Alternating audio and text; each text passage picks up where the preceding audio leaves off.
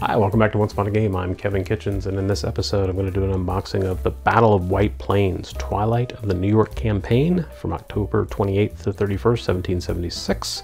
This is Battles of the American Revolution Series, Volume 10. They're already up to 10. Designed by Mark Miklos, fellow Georgian, I do believe. And this is a big, thick box. It's a big, heavy box. One of GMT's 3-inch three inch uh, deluxe boxes because it's got two mounted maps in it, believe it or not. It is rated, however, a three on solitaire suitability and a six on complexity, and it plays from two to eight hours depending on the scenarios, which I assume there's multiple ones in here. So uh, obviously, you know, most war gamers can play true solo, uh, playing both sides. Um, there are cards involved, which you may or may not be able to use the uh, GMT CDG uh, eventually for this ser series as well. Uh, the card-driven, or CDG um, solo bot, or solo sideboard system that uh, Stuka Joe developed. And they have been fleshing out for many games. So anyway, let's crack it open, see what you get inside.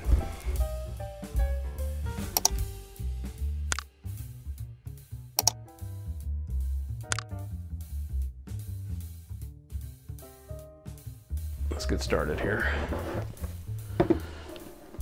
Okay, so we start out with the Battles of American Revolution series rulebook. This is the June of 2022 edition. I'm sure if you have an older game, you can download the, the series rulebook without, without issue. It's only a 16-page rulebook, and this covers the rules for the series, not the specific battles that you're playing. So it's on the nice GMT matte finish paper stock.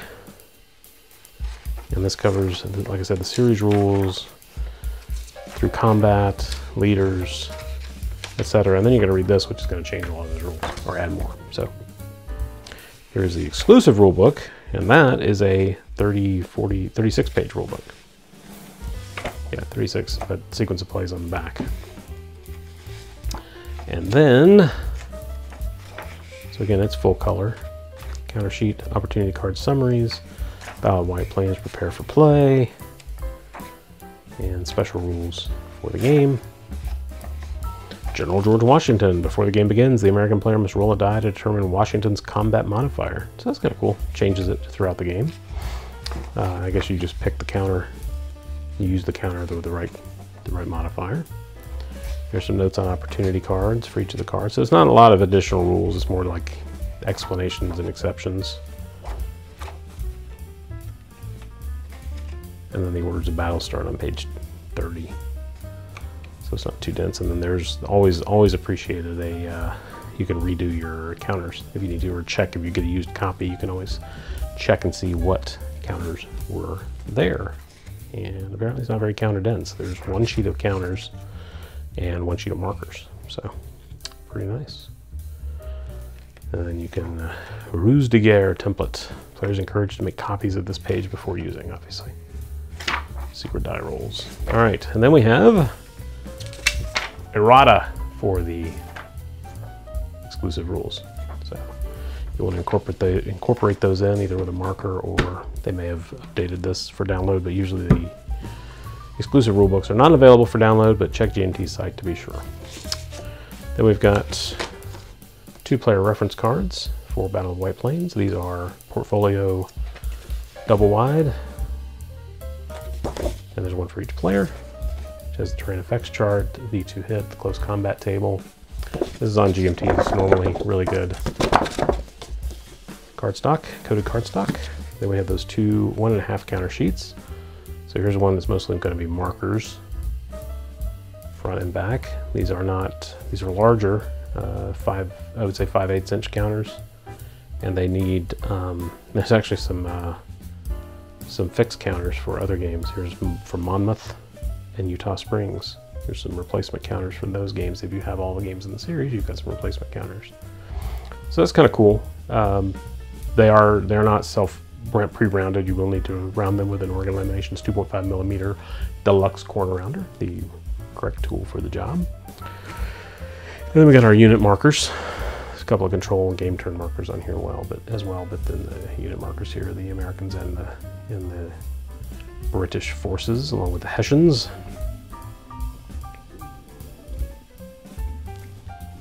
And most of them are only single-sided, as you can see. Some have a reduced side. And then we've got the meat here is two mounted maps, which we'll take a look at in just a second. And then we've got two dice, one red, one blue. We'll assume the blue is for the Americans and the red is for the Redcoats. Who won? Oh, the Redcoats won six to one. First game of the doubleheader. And then we've got our tactics cards, again, red and blue, one for each side. Not really sure how, uh, th this isn't really a card-driven game as much as these are just bonus cards, I think. So I don't know if the CDG solo system from GMT will work with this, but I don't know, maybe they maybe they do. So here is the uh, British British deck, local superiority, cancel the effect of an enemy card the moment it's played. Counterattack, suppression fire. It's deck one. Oh, there's three decks here. There's deck one, deck two, deck three, four.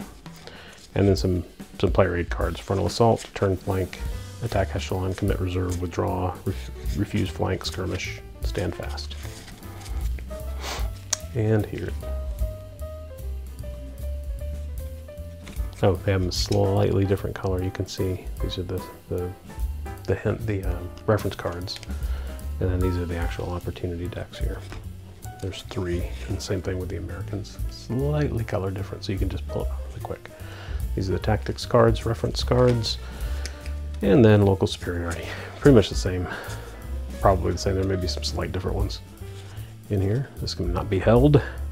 Increase our American Army morale plus one. If morale is already 20, discard and draw again. So, cool. Take a quick look at these boards here. And these are full-size maps. These are eight panel maps and you gotta put them both together to play this. But one thing that's nice is you do have, even though they're small, uh, well no, they're not small counters. I take it back, they're 5 8 inch counters. Um, so here's your, here's your first map. And obviously it's gonna sit this way on the table right? But then there's another map, full-size map that goes along here.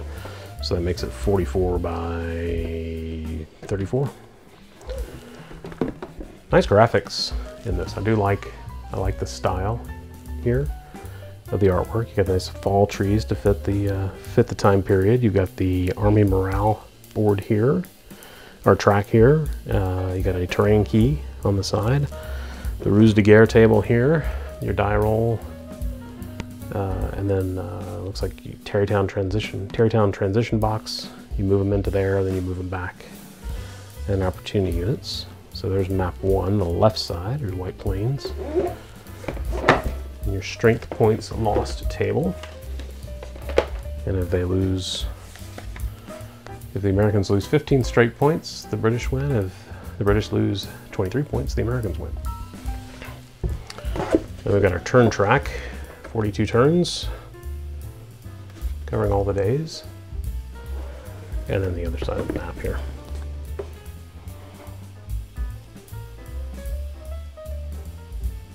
Leader summary table, eliminated units, captured units.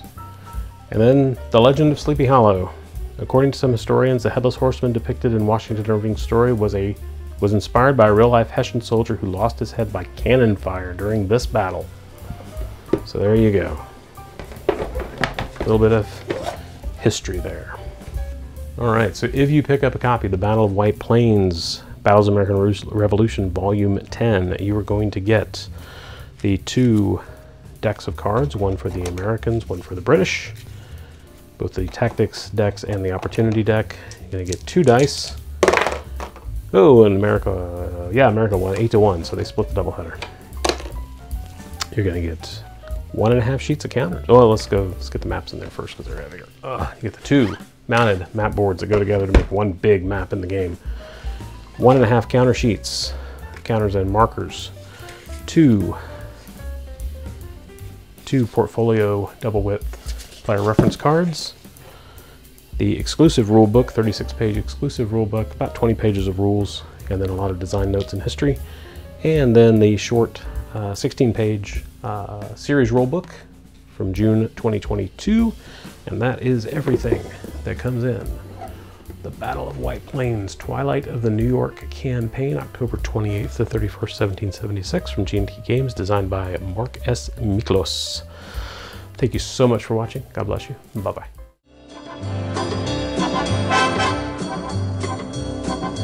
Oh!